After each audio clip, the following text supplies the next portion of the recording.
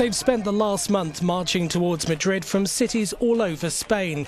Los Indignados, or the outraged movement, have arrived in the Spanish capital for a massive rally.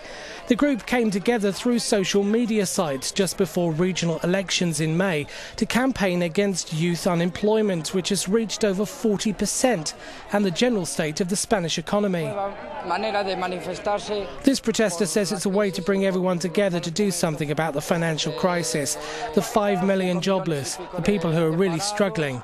But he says the group is also educational. They hold information sessions in towns across Spain. The protesters chant the struggle continues.